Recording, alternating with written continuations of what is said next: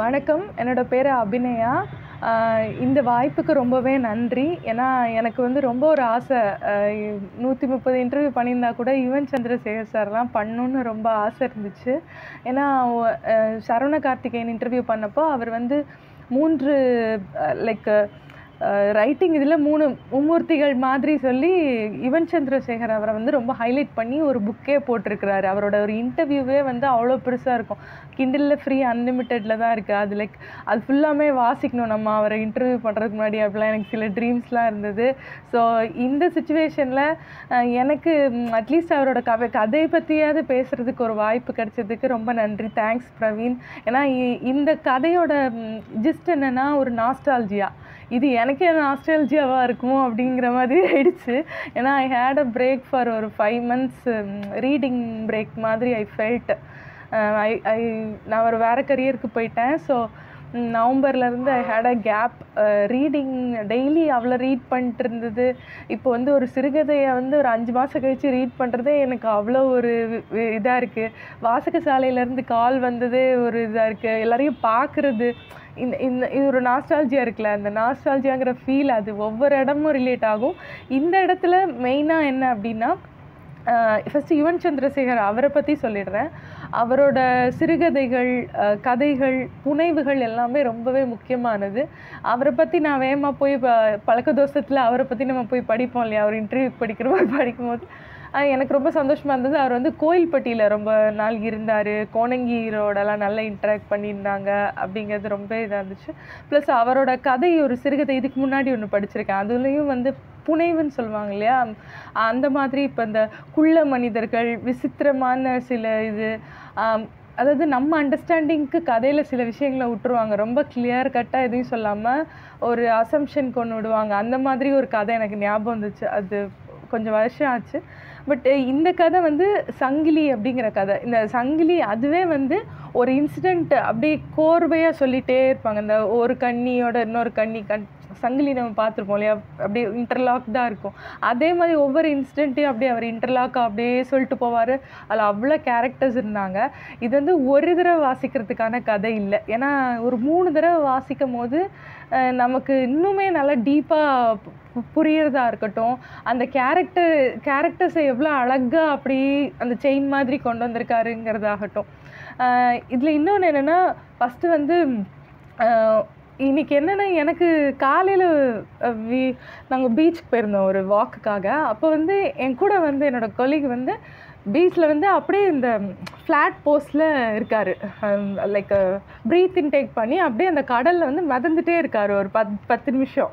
எனக்கு டக்குன்னு இந்த கேரக்டர் ஞாபகம் வந்துருச்சு. இந்த கேரக்டர் இந்த இந்த இந்த ஸ்டோரியை நரேட் பண்ணுற கிருஷ்ணன் அப்படிங்கிறவரோட அப்பா வந்து காசு இல்லை அந்த காலத்தில் காசு இருக்காது இல்லையா? ஒரு இடத்துல இருந்து இன்னொரு இடம் போகிறதுக்கு காசு இருக்காது. அந்த தண்ணி எப்படி கிராஸ் பண்ணுறதுக்காக அந்த மாதிரி ஒரு டெக்னிக் யூஸ் பண்ணி அவர் அப்படியே அப்படியே ஃப்ளாட்டாக அப்படியே போய் அங்கே போய் இறங்கி துணிலாம் காயப்பட்டு போயிடுவார். அதே மாதிரி ஒரு கேரக்டர் நான் பார்த்தோன்னே எனக்கு காலையில் ஷாக் ஆகிடுச்சு அப்போ என்னோட கூட வந்திருந்தவங்க சொன்னாங்க இட் ஹேப்பன்ஸ் டு மீ எனக்கு சாருவோட கதை ஒன்று எனக்கு இப்படியே ரிலேட் ஆச்சு அப்படின்னு சொல்லிட்டு என்னோட பாஸ் சொன்னாங்க.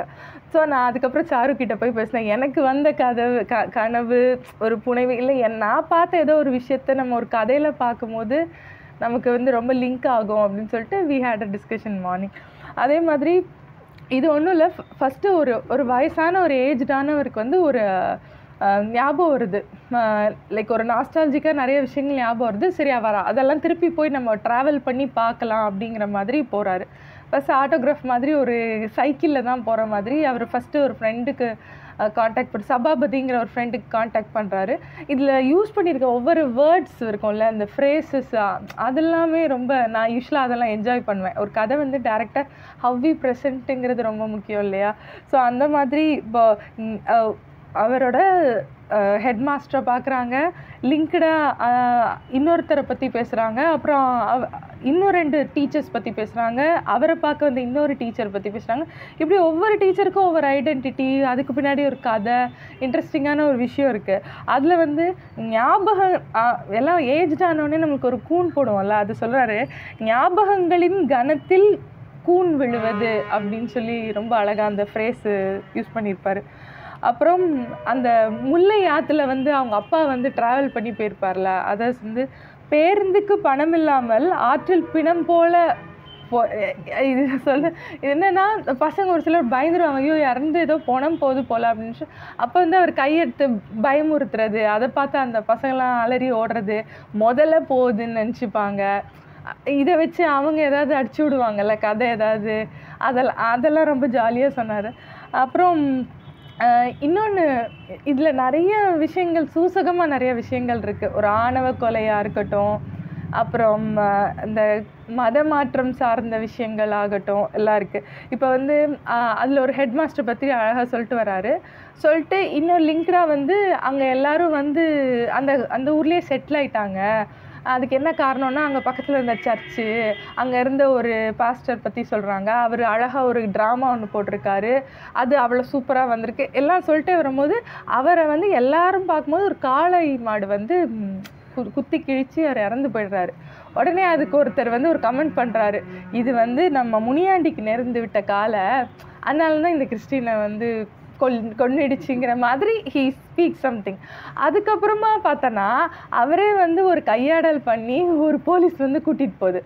அப்படியே அவர் லிங்க்டாக ஒவ்வொன்றா சொல்கிறாரு அதுக்கப்புறமா இப்போது இவருக்கு இந்த இது யோசிக்கும் போதே நமக்கு இந்துன்னு ஒரு பொண்ணு நமக்கு சின்ன அடல்ட் ஏஜில் நமக்கு கிஸ் கொடுத்தாங்க. அவங்க இன்னும் நம்ம மேலே அந்த கிஸ் கொடுக்குற அந்த ஆர்வத்தோடு இருக்காங்களாம் அதெல்லாம் அவர் சொல்லிட்டே வருவார். இந்த அவர் ரொம்ப எந்தோ வருவார் ஆனால் ஃப்ரெண்டு சபாபதி வந்து இச்சை இவன் கூட ஏன்டா வந்த? நம்ம எனர்ஜியே டவுன் ஆகிடுச்சே ஏன்னா அவர் வந்து இவரை விட ரொம்ப ஏஜ்டு மாதிரி பிஹேவ் பண்ணுவார். அப்புறம் ரெண்டு பேரும் வந்து இந்த சைக்கிளில் போகும்போது கூட அதை எக்ஸ்பிளைன் பண்ணுவாங்க.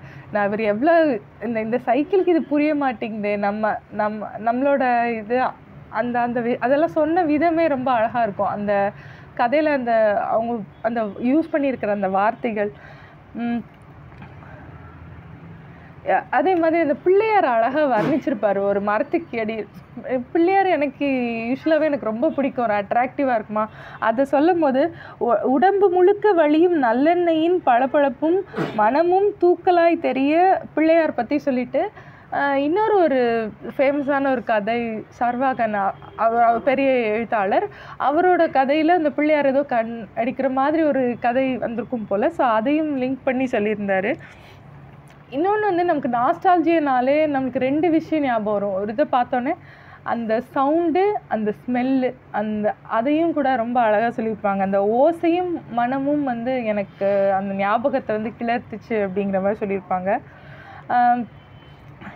இப்போ இதில் ஃபஸ்ட்டு ஒரு ஹெட் மாஸ்டர் அதுக்கப்புறமா இன்னும் ரெண்டு டீச்சர்ஸ் பற்றி சொல்கிறாங்க அவங்க கூட சேர்ந்துட்டு அவங்ககிட்ட இருந்து விடை பெற்று போகும்போது சொல்லுவாங்க அடுத்து பார்ப்போம் அப்படின்னு சொல்லுவாங்க அவங்களுக்கே தெரியும் நம்ம கண்டிப்பாக அடுத்து பார்க்க மாட்டோம். அடுத்து பார்க்குற அளவுக்கு நம்ம உயிரோடு இருக்க மாட்டோம் அப்படிங்கிற மாதிரி அவங்களுக்கு தெரிஞ்சிடும் அதை சொல்லிட்டு சிரிச்சிட்டு போகிறதா இருக்கட்டும்.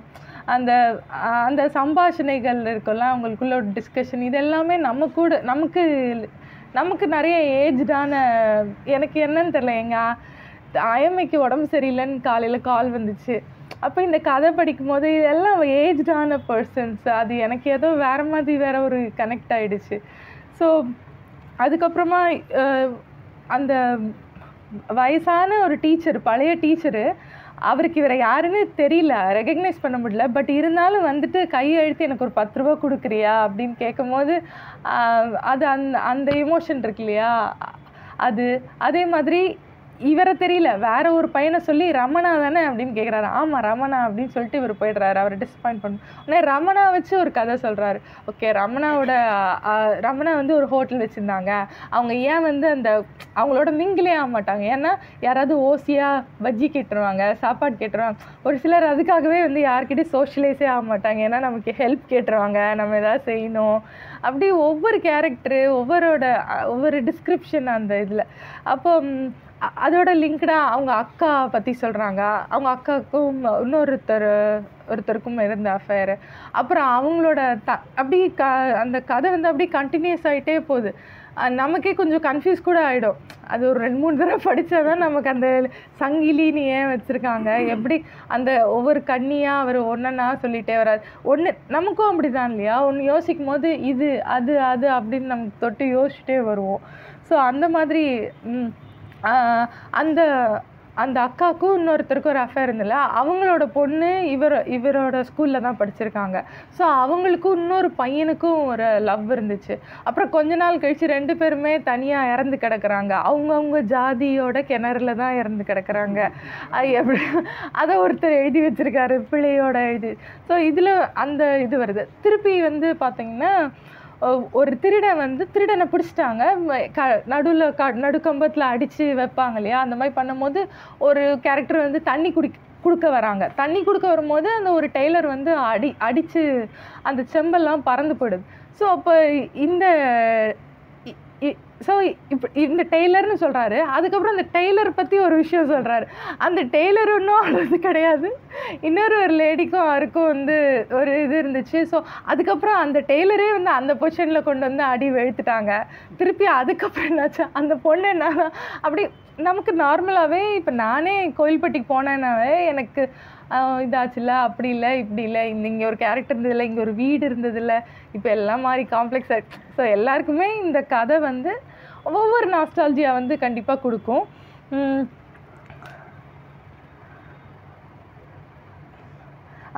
அந்த- சொன்ன மாதிரி தான் அந்த சிமிலிஸ்னால் இப்போ இந்த கோழி குஞ்சை அலாக்காக கவர் கவர்ந்து பறக்கும் பருந்து மாதிரி என்னை வந்து தூக்கிட்டு போச்சு.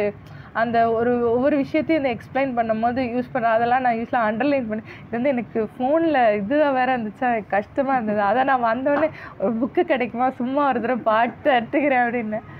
ஸோ ரொம்ப ரொம்ப தேங்க்ஸ் இந்த வாய்ப்புக்கு ரொம்ப நன்றி பிரவீன். வாசக சாலைக்கு வாசகசாலைக்கு ரொம்ப நன்றி. ரொம்ப நாள் கழிச்சு என்ன ஒரு கதை படிக்க வச்சதுக்கு சந்தோஷமாக பேச வச்சதுக்கு தமிழ் பேச வச்சதுக்கு.